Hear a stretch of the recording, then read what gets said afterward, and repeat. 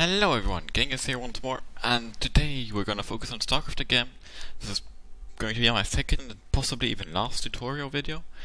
And I'm gonna try to, well, I'm gonna start by explaining a tech tree, and then after I'm just going to try and explain a lot of terminology, aka StarCraft or RTS specific words, which you're going to uh, hear or get used a lot in commentating of any games, be it professional or not, and which you really should know as well as some concepts and stuff like that. And also some of the really basics of the game, like how a normal game would probably start. So to start off, we're just going to have a look at the Terran tech tree, uh, just so you get kind of an idea how the game develops. You start off with a command center and a bunch of workers, as you probably know. You can obviously upgrade the um, command center, but for that you need either a barracks or, or an engineering bay, depending on what you want to upgrade it to. You need a supply depot, which is what you also gives you supply. To be able to get a barracks, once you get a barracks you can start making marines and reapers. If you want to do marauders you also need to have a tech lab attached. And if you want to do ghosts you need a tech lab attached and a ghost academy. Something which is pretty common, or which is going to have all around the, the Terran tech tree. For example, once you get a factory, you can do Widow Mines and Hellions. And if you want to do tanks and cyclones, you also need a tech lab attached. And if you want to do Thors, you need a tech lab attached and an armory. And here, again, the same. Can do these three units immediately. For the Banshee and the Raven, you need a tech lab. And for the battle cruiser, you need a tech lab and a fusion core. So it goes pretty much barracks, aka infantry units, unlocks the factory, which unlocks mechanical units, uh, or which allows you to do mechanical units, which unlocks the starport, which then, once you finish it, allows you to do air units. Otherwise, you only need a command center to do an engineering bay, which allows you to do missile turrets and sensor turrets, as well as a planetary fortress we saw over here. The barracks also obviously unlocks the Ghost Academy, which you then need to do ghosts, as well as bunkers, which are a defensive structure, and the factory unlocks the armory, and the starport finally the fusion core. So yeah, you can't do a fusion core at the same time as your first starport, you first have to finish your starport, then build a fusion core, and then you could start building battle cruisers if you would want to do that. Also, there are a bunch of upgrades in the tech labs, which I'm going to show you once we actually start the game. I'm just going to play against uh, easy AI, which is no challenge whatsoever, but which should give me enough time to show some things and um, kind of explain what's going on, I hope. I really haven't completely structured this through. I'm going to try and go along the way. I hope I'm not going to forget too much. I really want to do this video, but I really didn't know how to, and I figured this is best way I kind of came up with. So that's that. So Zergs at the beginning of the game have a lot of melee units, while Terrans have none of those. So we are going to, or you will always start as a Terran against Zerg, and at the moment also against Protoss, by doing a wall off. The nice thing about supply depots is that on top of giving you supply and unlocking the barracks obviously, you can actually lift them and put them into the ground, and when they're into the into the ground mode, your units can walk over them, so you basically have a wall with a door, which is obviously really, really nice. As soon as our supply depot finishes, we build a barracks. All of this only costs minerals. We're going to start a gas. Ah, should have started that earlier, but doesn't matter. We're going to start a gas right now, which will allow us nearly when the barracks finishes to have enough for Reaper. Normally I would have enough, but I kind of derped out. We're also going to send SCV to scout once he finishes building the barracks. Scouting obviously is something I guess you know, but it, you know, it literally means gaining information about what your enemy is doing. The Reaper, which will come after the SCV since it's got a pretty long construction time, is also going to help us um, scout, which is pretty nice. Because that way we can get a lot of information off, and the Reaper is also pretty nice at the beginning of the game to do some harassment and punish any enemy going too greedy. Also, as soon as we start that Reaper, which costs 50 gas and 50 minerals, my Marines cost only 50 minerals. Um, both of these units cost 1 supply, by the way, Ghosts and Marauders cost 2 supply. Start a second base. As you can see over here, we're currently upgrading to an orbital, which will allow us to throw down mules for extra income, and which will also allow us to scan if ever we need to do that. When we're scouting, we're looking out for one thing mainly.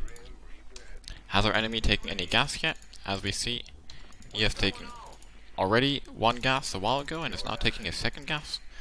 Obviously, yeah, it's an AI. What he's doing is pretty stupid. I'm not going to lie in that regard. We're going to follow this up with a factory, a second gas, and a reactor. Oh, as soon as we get the money for the reactor. Oops. Right now what I'm doing, this is actually really awesome. This is, what I'm doing right now is kiting. I'm faster than the enemy units and I have more range. Throw down that mine. Which allows us to pretty much shoot him without taking any damage. Whoops, that's not what I, okay. That was like a double mystic, which was pretty fucking bad. But whatever, we lost our Reaper we really shouldn't have. Also, I forgot to do... Ah, talking and playing at the same time is fucking hard. This reactor should be finishing at the same time as the factory. As you can see, that's not really the case.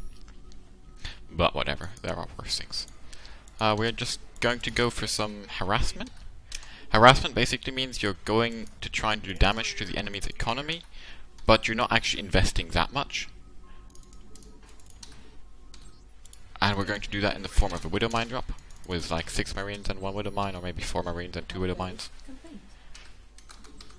As you can see, we're using mules for extra mineral income, we're mining just about as much gas as we need. In the early game, the more gas you mine, uh, the more minerals you mine, pretty much. We're also going to add two more barracks right now. Uh, so it's really a trade-off if you want to... Like, gas is what you need for anything technological. Technological. For example, medevacs cost gas, mines cost gas, starports cost gas, factories cost gas, upgrades cost gas, add-ons cost gas. All that stuff costs gas. So, um, However, obviously, if you're mining gas, those same SCVs are not mining minerals. You also have to pay the gas, which costs 75 minerals, like the gas geyser. And thus, the more gas you mine, the less minerals you mine. Which is why it's pretty much a trade-off. Like the most economical early game builds will mine no or very limited amounts of gas, while the most aggressive ones are going to mine a lot of gas very early on. Um, I hope that kind of makes sense. So this opening I'm going for is kind of safe against any very early game aggressions. Or is, yeah, you know, rather safe, if not safest thing ever. While also being economical enough because I'm going for a fast expansion, not ultra fast, but fast expansion. And additionally, oops,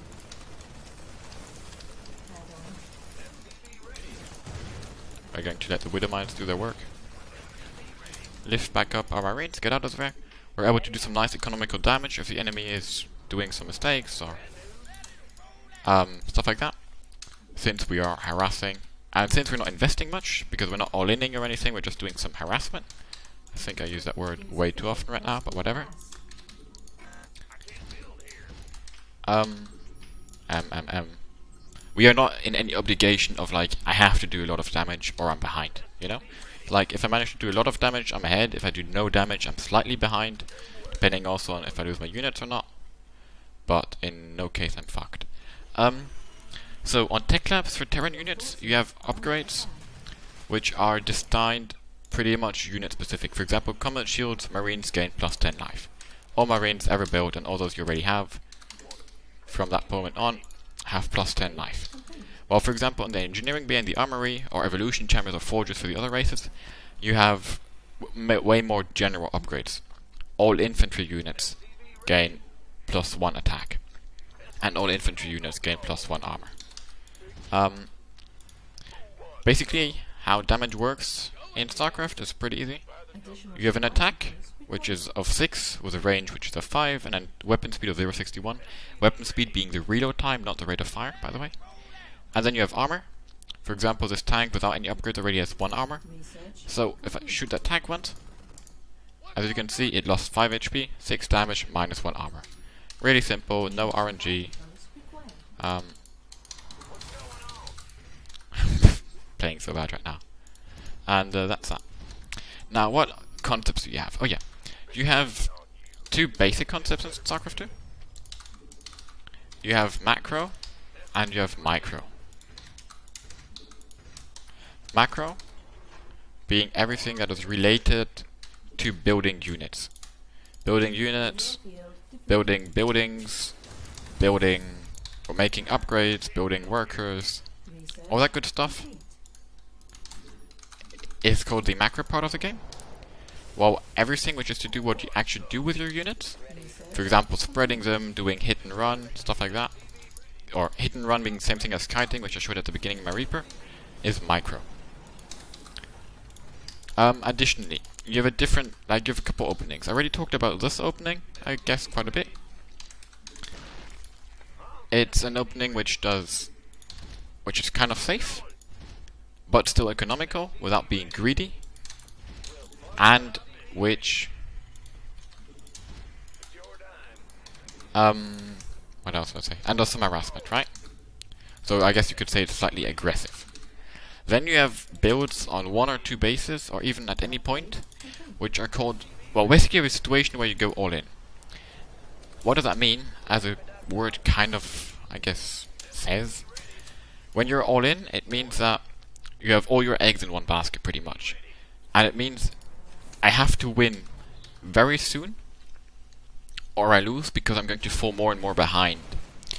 This could be the case if you lose all your workers due to enemy harassment. So you have no economy, the enemy still does, uh, aka the longer the game goes, the bigger his advantage is going to become.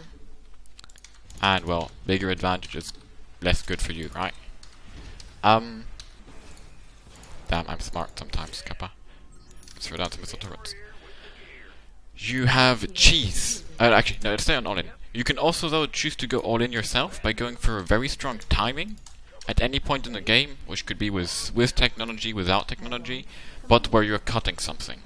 So you want to have more units, and to be able to have more units, you're deliberately cutting your upgrades. Cutting meaning not doing your upgrades, or not building more workers, or not taking more bases, or not going further into your technological, uh, technological development in order to have the strongest timing possible and hit at a certain point.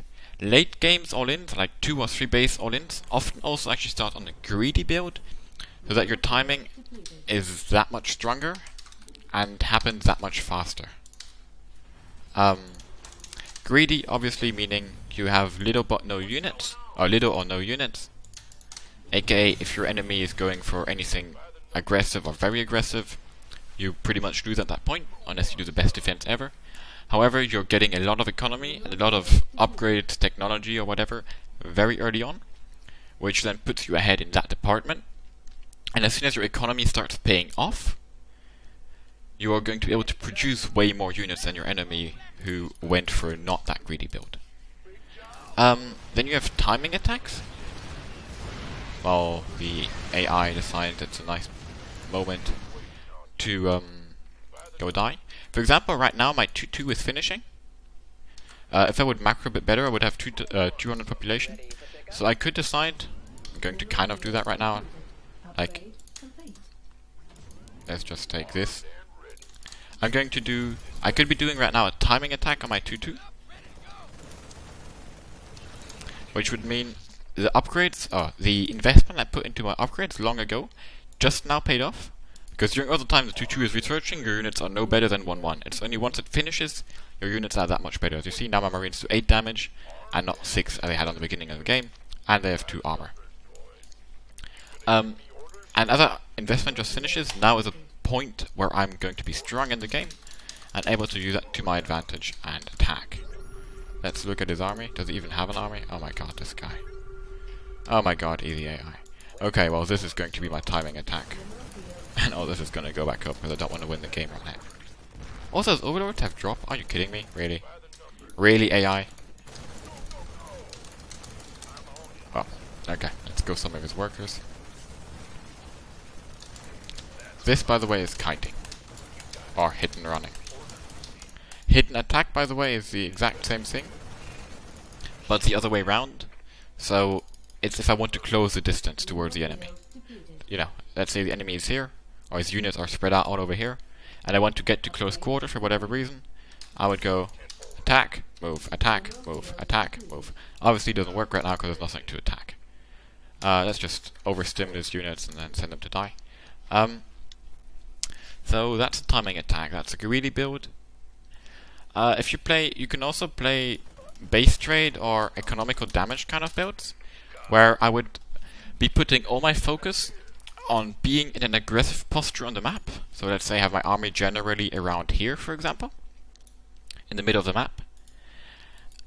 But actually being aware that normally I will not be able to defeat the enemy army. However, I'm going to keep him at home because if he starts moving out, like you win the game in StarCraft when you destroy all enemy buildings? Normally games end before that because people just, you know, know they have lost now and decide to give up. Uh, at, at any level, yeah? But, if I have my army over here, and he wants to attack me because he's got a better army in the front of fight, he can't really do that. Because I see him move out, you know, I have a marker here or something, I see he's starting to attack, I just move my army up around here, come back, and when he's like in the middle of his map, I'm already in his base. And I start killing his buildings, his workers, and so on. And at the same time, so because of that, he's not going to move out, he's going to be kind of forced to stay defensive. And at the same time, I'm going to try to do economical damage by doing drops, for example, or run-bys, if I were, but I'm Terran. Drops, which pretty much means putting units into medevacs. Medevacs are able to fly around and drop units off, as you saw already at the beginning of the game. That would be kind of an harassment-based trade kind of game style. You also have cheese, uh, which is something you will hear a lot in pro games. Cheese is when you're doing an all-in, but really, really, really, really early in the game. So before doing any upgrades, nearly no economy and so on, most of the time also involves a proxy. That's another good word. Proxy is basically when, or is, when you put some of your buildings not in your base, but very close to the enemy base.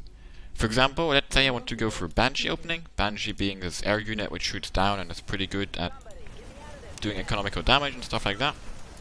I'm going to kill him with like two drops. Um, obviously, if I build that Banshee here, until it gets to the enemy base, it's going to fly for around 30 seconds. However, if I were to build my starport and then my Banshee over here, you can see the distance between here and here is really short, and I would arrive that much faster, which would increase the chance that he doesn't have appropriate defenses yet by, well, by that much, pretty much. Um, so yeah, a cheese is if you put all your eggs in. Is this really your army? Like, are you actually trying to attack me, mate?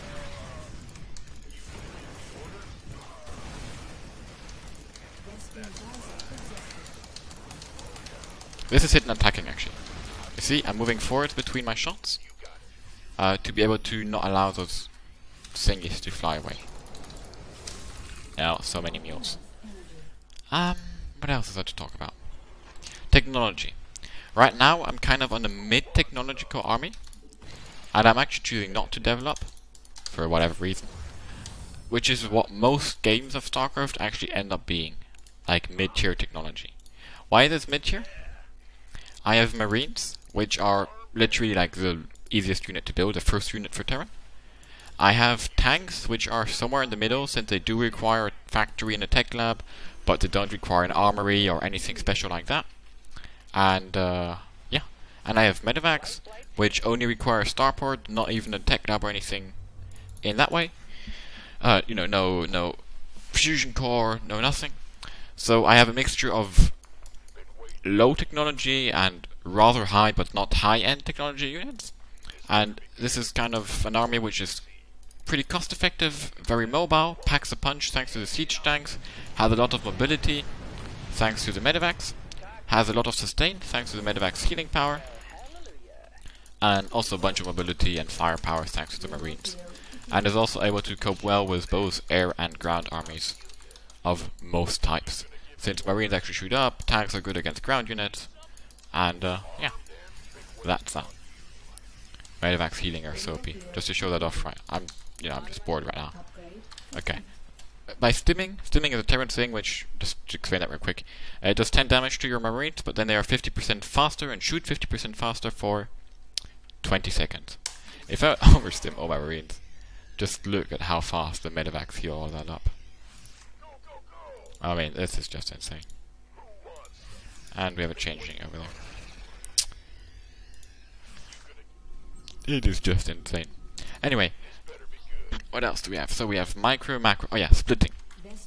I guess it's pretty obvious, but splitting, I'm gonna show that off right now. Tanks do splash damage, and a lot of other units in the game do splash damage. Marines have a very small, a very small unit, as you can see on that circle on the bottom. So they, you know, eat a lot of splash. If I were to shoot this Marine, just once, see, the Marines in the middle all took a lot of damage, like the Marines closest to them. Marines around all actually took a bunch of damage, and then the Marines on the outside took none. Now let's seal that stuff up. Splitting basically is when you spread out your units so that oh they're further away from each other obviously splitting them up why, why is that guy following that guy anyway so let's say something like this right this is a pretty decent split if I now shoot this marine with my tank basically only that tank took damage would you please stop pissing me off, easy AI, with your like 0 0 mutas? Wow, they're actually 1 1.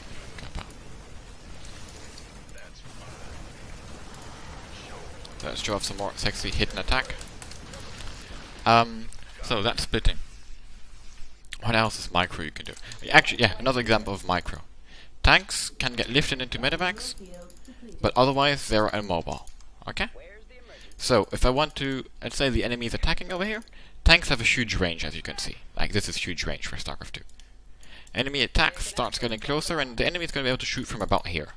So let the tanks shoot once, shoot twice, and then I pick up my tanks, boost them away, and drop them again further away when the enemies are still over here, and I can put one more shot into them. For example, that's a nice example of what micro can be. Amount of changeling this guy is planning. Um, let's go drop him because I'm bored. What else is there to talk about, so? Cheese all in. Cheese all in. Greed. Then there are aggressive builds, which are a bit like an all-in, but where an all-in is normally means you have to kill the enemy or you lose in the next 1, 2, 3 minutes. A very aggressive build can be, so to say, satisfied with doing damage. So for example, you're on two bases, the enemy's on three bases, you do a... Like the enemy just took a third, you're on two bases. Yeah, third base. You're going for an aggressive build, whereas with an all-in, you would be on the condition of you have to kill. With an aggressive build, you could have the condition of, if I manage to kill his, uh, his third base, I'm actually going to be ahead, because he has put a lot of money into the base, into the extractors, into the defensive structures, maybe some other buildings you can pick off into the worker there, which I will destroy before they're able to pay off. And I can then maybe even take my own third after that. However, in the aggressive build situation, it requires you to definitely do damage. So it's, if I don't manage to do damage, I'm far behind or even lost. If I manage to do a decent amount of damage, I'm ahead. And with some luck, if he's going really greedy or something like that, I might even be able to win outright right there. Um, I think I covered everything I kind of wanted to cover. So let's just do a quick recap once more. Although that's probably the third one I'm doing right now. You start the game with a command center and workers, or with a base and workers for every race. At the beginning you build some basic uh, production buildings and some basic units such as barracks and marines in the Terran's case. You have to make choices of how much you invest at the beginning into economy, into basic production buildings, which can be used for very early on made all-ins or at least or cheeses or aggressive builds, and into technology. Technology can well technology is a bit tricky because it can be a sign of you're trying to go for the later stages of the game. For example, uh, if you want to get very fast upgrades done, because since uh, you know you have to do them one after the other and they take forever. Or it can also be that you're trying to harass or even be aggressive if you're going, for example, for a very fast unit which costs a lot of gas. For example, very fast tanks, very fast medevacs, banshees, liberators. Obviously, the more gas you mine at the beginning, since you have a very limited amount of workers and uh, of income, the more gas you're mining, the less minerals you're mining, so you're falling back behind in economy just by mining gas. I'm talking about the very early stages of the game, yeah? Just to make that clear. Um, later on, there are different ways you can play. You can be rather campy or defensive, trying to, for example, get a really awesome army, which straight away has a lot of very good units. You can be going for timing attacks on, for example, plus 1, plus 1, or plus 2, plus 2 upgrades, or a timing attack on Stim, Combat Shield, and tanks and medevacs. So your goal is to get 3 tanks, 4 medevacs, 20 marines with combat shield as fast as possible, just taking a random example, and do a timing then because you know for that point of the game you have a very strong army, and uh, hope you can kill the enemy or at least do a lot of damage. You can open very greedily, for example if you start with a command center like supply depot, command center, and only after that you add more barracks, which obviously puts you far behind in unit production and also technology because you're not going to have gas for quite a while since you need all that money for the command center and the barracks and the SCVs. However, it gives you a huge economy boost because you can actually produce SCVs or workers two by two, SCVs being workers, yeah, just to make that clear, way earlier in the game than your enemy. Um, obviously, in StarCraft, since most upgrades are limited to certain units, let's just, I want to show that real quick.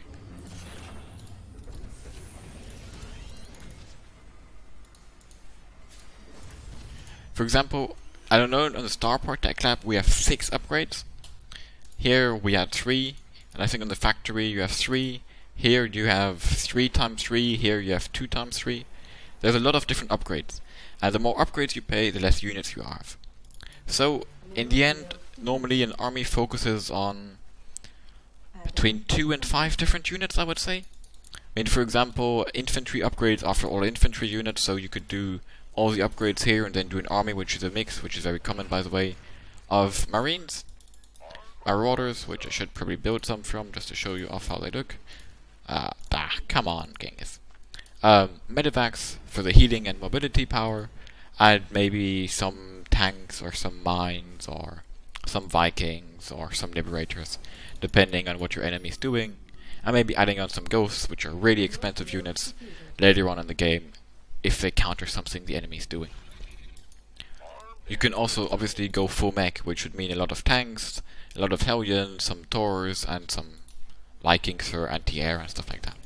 But you will nearly never, well at the pro level, you will never see anyone, this guy, um,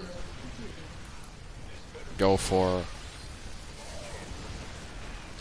you know, I want to have Viking, Medevac, Liberator, Raven, Banshee, Battlecruiser, Cyclone, Thor, Tank, Ghost, Reaper. Because just of the amount of upgrades to actually stay competitive and cost efficient that you would need being excessive and not worth it. Uh, yeah, one more detail, which I guess is not that important, but uh, some units are um, spell spellcasters. For example, for the Terrans we have Ghosts, the Reaper which can throw a mine which actually counts as a spell, the Raven, the Battlecruiser Yamato Cannon, and I think also the Cyclone, uh, and the Mine. Spells ignore armor, which is why spell units are have tendency to be very good against units with a lot of ar armor, obviously, such as Ultralisks, for example. I think I covered more or less everything I wanted to cover trying to think of what I could have forgotten. I would say I have 51 idle workers while I have like 70. Why is these not counting as idle workers? Okay, whatever. Sorry, that was just me going my trip. I hope this video explained some things to you at least. And, um, oh yeah, no, actually there's one more thing, which is really important. You often hear casters talk about the build order advantage. A build order is basically the order in which you build your first buildings at the beginning of the game. So for example, as here I did, my build order was supply depot, barracks, gas, command center, reaper, uh, and then so on. And for example, a um, well, an all-in build order or cheese at the beginning of the game is going to beat a greedy build order, just because you have units and your enemy won't. So you have a build order advantage or even a build order win. Build order win being very rare, but the extreme case of a build order advantage. Um, or another example, a safe build or a defensive build will most of the times be better than an aggressive or all-in build, since you will have enough to defend, but you are not limiting yourself and you're actually getting some upgrades or have some more economy or some sort of other advantage over the player all-in. Um, yeah. I hope this kind of explained some more things to you. I hope this video was good. And next thing we're going to do is actually going to have a look at some pro games between Zerg and Terran, which happened not long ago. Thanks for watching, everyone. Hope you enjoyed. Actually, wait, wait, wait, wait, wait. Before we quit this, we are going to show that AI sucks. Kappa. And now I hope I don't win the fight and look like a retard. We're just going to go take the fight so you have some sexy action and maybe I can even show some macro. By the way, you should always move your tanks in your medevac, but I'm just lazy as fuck right now to say it that way. Oh, let's just do oh, there we go. Yeah, AI sucks, confirmed. I mean, okay, this is easy AI, but even the hard AI, if I try, I beat easily, or very hard. Although, if you're new to the game, medium AI is probably going to be like pretty much your level after you played a couple rounds. I just hope this AI actually gives up at some point, because one of the main issues with AI is that they don't give up.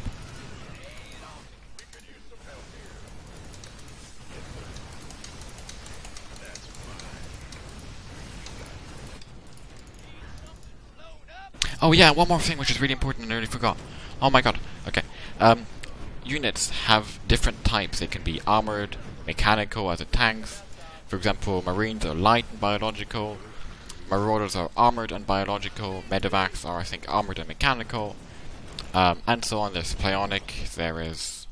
Well, there's a bunch of, of types of units like that.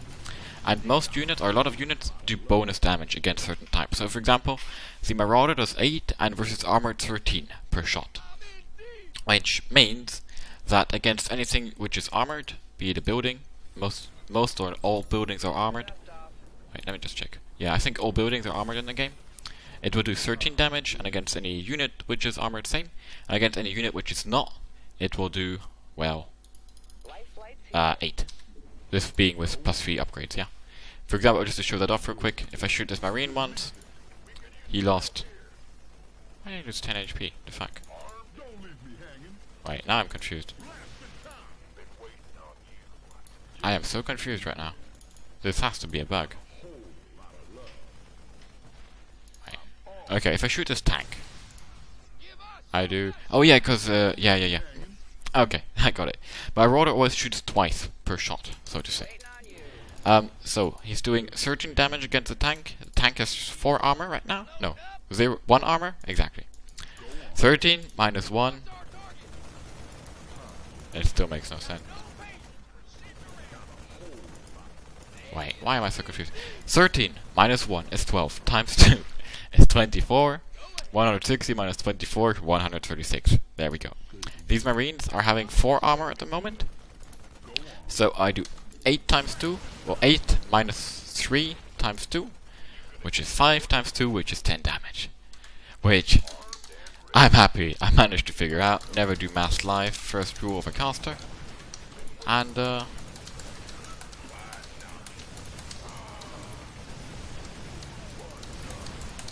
Yeah, that's up.